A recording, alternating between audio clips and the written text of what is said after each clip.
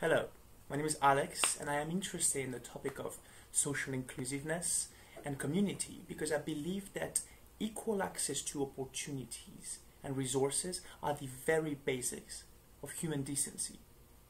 You see, I was very lucky to live in different countries of the world.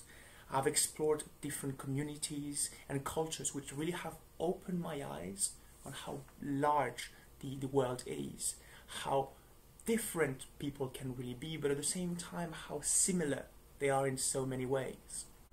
I have often felt as an outsider, really enjoying the pleasures of, of inclusion when someone would take me in, regardless of differences, but also the difficulties of uh, exclusion and how daunting this can really be.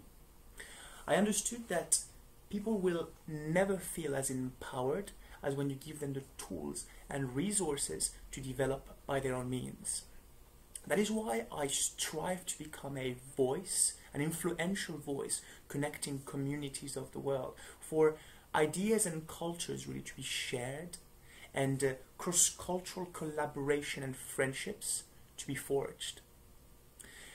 I am looking to develop a natural skill of empowerment that I direct to to anyone I come across with, really for for for people really to be the best versions of themselves and and and and and achieve their full potential regardless of what they do in life.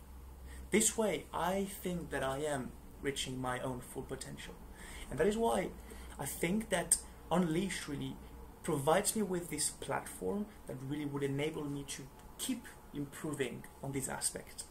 Thank you very much.